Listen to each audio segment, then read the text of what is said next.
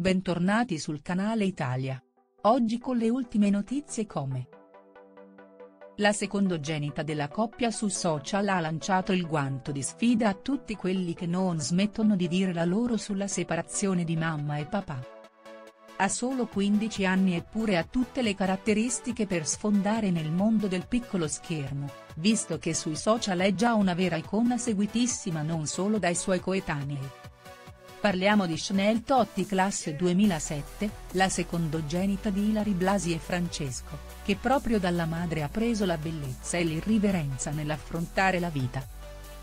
Dal padre invece ha ereditato la dolcezza e il saper aiutare tutti, compresa la sua famiglia, che ora sta vivendo su più fronti un momento davvero turbolento.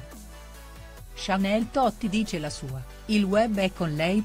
Dal web ed i social sono davvero tante le opinioni spesso non richieste, riguardo la separazione tra la coppia romana rimasta insieme per oltre 20 anni.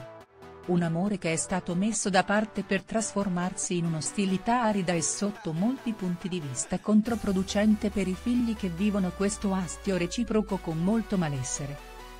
Eppure Chanel ha sempre cercato di non avere un suo preferito, anzi si è mostrata sorridente con entrambi i genitori per cercare di trasmettere massima sicurezza e gioia nonostante tutto quello che le stava accadendo attorno. Oltre a tutto questo però ci si mettono anche le trasmissioni tv e gli speciali che non danno tregua ormai da mesi.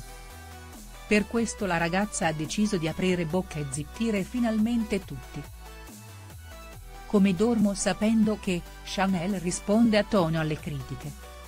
Si è espressa poche volte finora sui social, ma stavolta non ce l'ha proprio fatta e ha deciso di dire argutamente la sua di fronte a tutti quelli che sparlano alle sue spalle.